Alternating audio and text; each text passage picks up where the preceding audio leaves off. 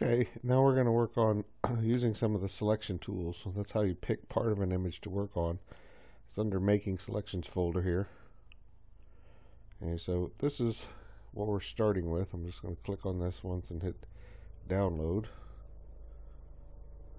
I'm going to tell it to open with Photoshop.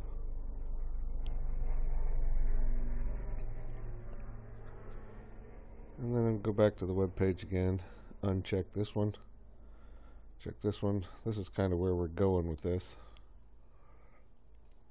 So again, open with Photoshop. Now, so we got two pictures here. We're starting with this, and we're going to end up with something like this. We may not do this part, but I'll explain that later. Okay, so what we're going to do here, first thing we're going to do is we're going to see how these tools work over here to help select part of an image. So this is the move tool. This moves stuff around.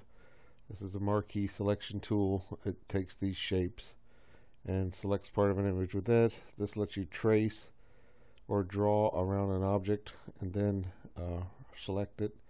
This lets you either select a color with the magic wand tool or to paint on an object using the quick selection tool to make a selection.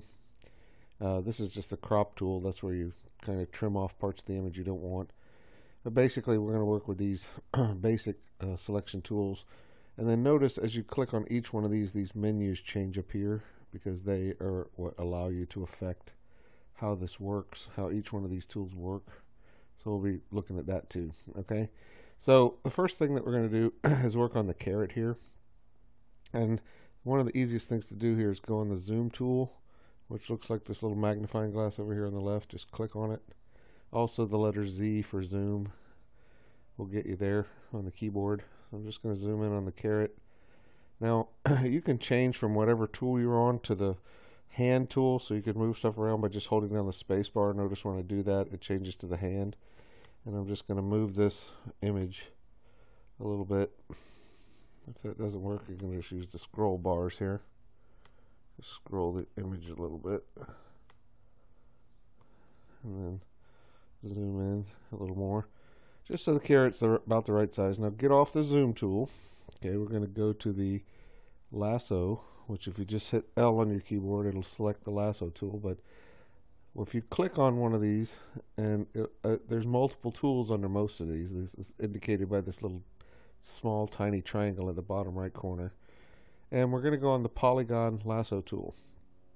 And what that does is it kind of lets you trace by connecting dots. So what we're going to do is we're going to start right here at the tip of the carrot and just click and we're not worried about perfection but we're not going to go very far as we go and click and click. And if you make a mistake like you click inside the carrot or you click outside the carrot just hit the delete key on your keyboard and it will remove the last points that you did. Okay so and again I'm not going to worry about perfection and neither should you we're just going to kind of trace the edge of this carrot. And again, if I make a mistake or I'm not happy with it, I just hit the delete key for the last one or however many dots that I set, points that I set.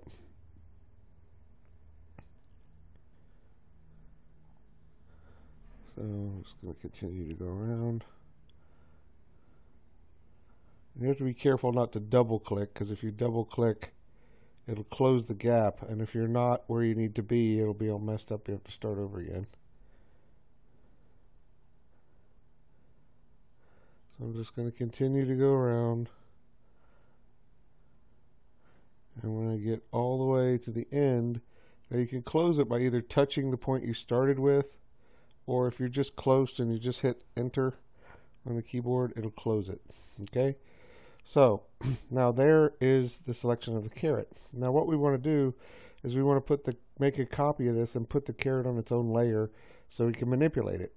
So we're going to go up to layer, new, layer via copy. And I'm on a PC so it's control J. On the Mac it'll be command J. So if you do layer via cut it'll cut the carrot out of the background and leave a blank hole but let's not do that let's just do layer via copy, which is Control J or Command J. So if I just click on this, you'll see over here, I get a new layer. And if I turn this, the visibility of the background layer off, you'll see that it's just the carrot sitting there by itself. Okay, now to see the whole image again, all I have to do is I can either zoom out or I could just hit control zero, control and the letter zero, and that zooms me back out. Now what I want to be is I'm going to name this immediately so I don't get confused. I click on the name layer one and just type carrot. And then I go get the move tool which the keyboard shortcut for the move tool is the letter V. As you can see over here it shows you. Here's the move tool.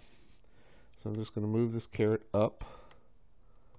Got to be on the carrot layer right just move it up onto the board now I'm going to switch over to what the other picture just for a second to show you the carrot's kind of at an angle here we're not worried about it being exact but in order to rotate it, what we're going to do is we're going to do a transform. So we're going to do edit free transform. You see the keyboard shortcut control T? Control key control T is free transform and when you do that you get this box around it. Now what you can do with transform is you can make it be you can uh, change the shape of it. You can make it larger, skinnier, fatter, whatever you can do here. If you hold down shift, it'll get bigger and smaller, but it'll stay in proportion. Okay, so I'm going to just keep it about the size it was. But if you also, I'm going to undo that. Uh, hold down the shift key. If you put your mouse outside of it, you can rotate it. So you're going to rotate it to about the approximate position that it is on the. I want to make it a little too fat, so I'm going to squish it down just a little bit. Sorry, I've got a cold. And once you get it in, you've got either this check and this is get rid of what you did, or you can just hit enter to also, it's the same as the check. So I'm going to hit enter, and there, that's the picture. So comparing to the other one, at least we're in the ballpark here, which is close enough. Okay, so now we're going to select this tomato here. We're going to use a different tool. I'm going to come over here and get the quick selection tool. Now the quick selection tool is actually a paintbrush. So when I click on it, it's going to be this circle. I can make the brush bigger by to the right of the P key on the keyboard is two bracket keys. The right bracket makes the brush get bigger, the left bracket makes the brush get smaller. Okay, so and right now we have a plus inside. The plus indicates that we're going to add to the selection. If you hold down the Alt or Option key on the Mac, it changes to a minus. And when it does that, you're deselecting. What I'm going to do here is I'm going to make it a little bit smaller with the left bracket key and I'm not going to go on the carrot because there's there's no nothing in this layer so I make sure that I click back on the background layer and I'm just going to select and you'll notice it just one or two clicks is all it takes to select the whole tomato now if you're not sure you can hit Z and zoom in on the tomato just a little bit and it looks like it's pretty well selected so let's just go ahead and do it's command J or control J to make a new layer and let's name it immediately so we don't get confused. Tomato. Okay. And go on the move tool, which as we saw before, there's the keyboard shortcut is the letter V. So get the move tool and let's move the tomato over to where it is in the final image, which is about there. That's a little more off the edge than I've got it there. So put it out there. And if I want to see the whole thing again, remember it's control zero. So that's close enough for what we're doing right now. Okay, so the next one is to select this plate of olives. So again, I'm just going to hit Z and get on the zoom tool and just click the mouse a couple times and zoom in. Scroll down by the edge here. Now I'm going to use a different tool here. I'm going to use the marquee selection tool and we've got either the rectangular or the elliptical. So we're going to choose the elliptical. Let's make sure that's what we did. Yes. Okay. Notice it's changed to an ellipse. And we're going to start up here so we, we can't touch it going up and down, and we can't touch it going left and right. Up here at about 11 o'clock. And then we're going to click and drag down and to the right and approximate the size of the plate. And we don't have to select it exactly because we can change that later. So just, just let that go. And these little marching ants are indicating what's been selected, which obviously we're going to tighten that up. So we're going to go up here to the select menu and we're going to say um, uh, we're going to transform the selection. So when we do transform selection, we get these little control buttons, and we're just going to bring it in on this side a little bit. Get off the menu there. I'm doing this with a trackpad on my laptop, so it's a little bit more difficult than doing it with a mouse. And do the same thing here. Could bring it in. Again, we're not looking for perfection here. And bring this down. Bring this in. Okay. So again, close enough. So again, I can hit the check or I can just hit enter on the keyboard. And there it's selected. Now I can't do this on, on the tomato level because if I turn these two off, you'll see that I've selected nothing over here. Okay. So what I've got to do, and I'll turn these back on, is I've got to select the background layer again. And again, Control J or Command J. And we're going to call this olives. Okay, and then again, Control 0 so we can see the whole thing. Hit V to move to the Move tool. That's the top tool, remember, if you can't remember the letter V. Grab the olives. And let's move them over here. Okay. That's pretty good. Let's compare it to the final. A little bit lower. bring them down.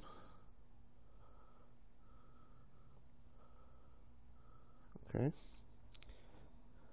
Up just a little. You can also use the arrow keys if it's selected to move it up as long as you're on the move tool. Now let's use another tool over here. Again, let's go to the lassos, but this time instead of using polygon lasso, we're going to use magnetic lasso. Now what magnetic lasso does is again you have to click along, but magnetic lasso looks at the object you're selecting and the background and it kind of tries to help you by looking at the color. So let's go on Z for a second on the zoom tool and zoom in on this pepper. And then we'll go back to the magnetic lasso tool. Now I'm just going to start here and it's the tip, the, the tip of that thing there. So notice as I go along this time, the Photoshop is helping me stay to the edge of this vegetable here by magnetizing to the difference between the color of the pepper and the color of the background.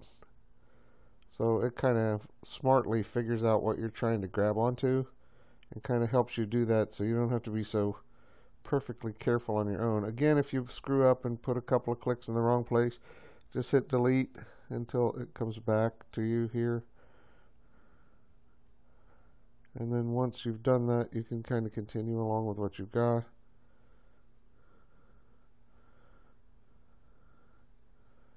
I'm just going to do, I'm doing this kind of down and dirty, not trying to be too perfect.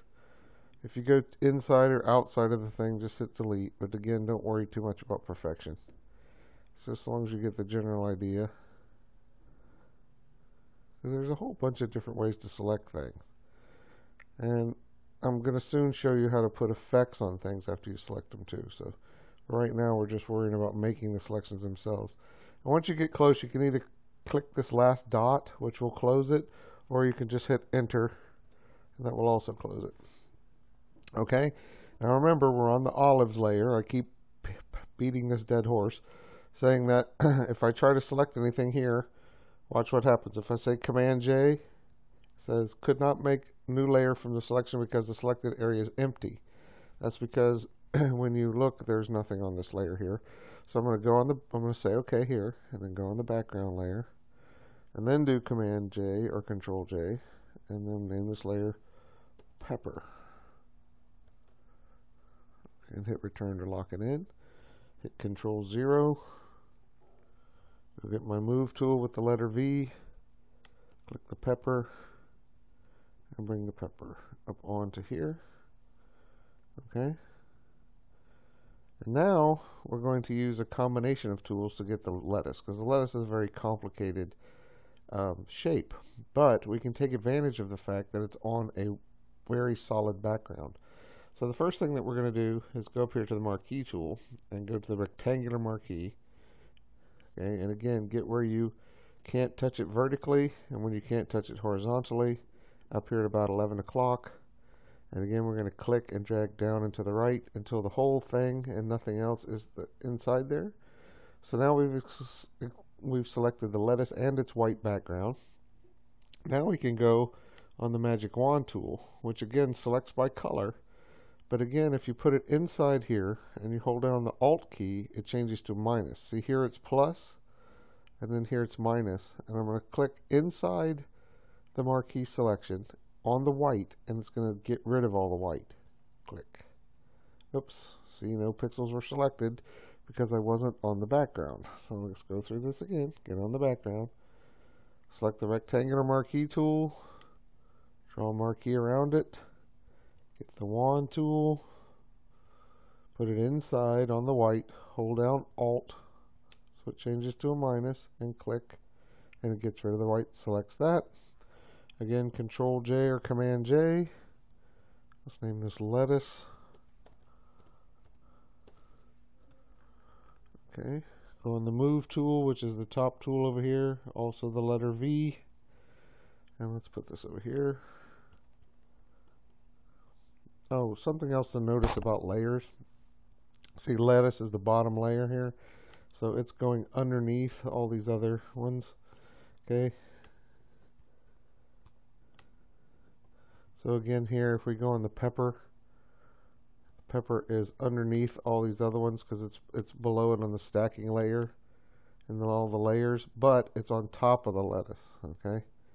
And you can see that here because pepper's over lettuce. So if you want to change the order of this for any reason, you can just drag this down. Like if you want, like if I put the pepper here and it's over the lettuce, let me grab the pepper here and I want it to be underneath, all I got to do is take lettuce and drag it above pepper or take pepper and drag it below lettuce like this and then you see the pepper is now behind the lettuce.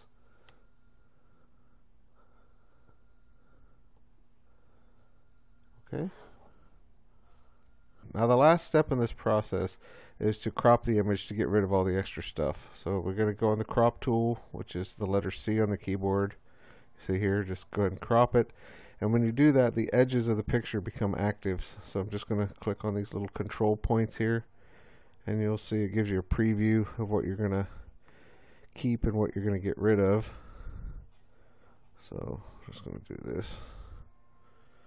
Okay, crop it down. And then hit the check or just hit enter on the keyboard. Now we're going to save this out as a smaller JPEG file. So we're going to go File, export. And we're going to save it for the web here.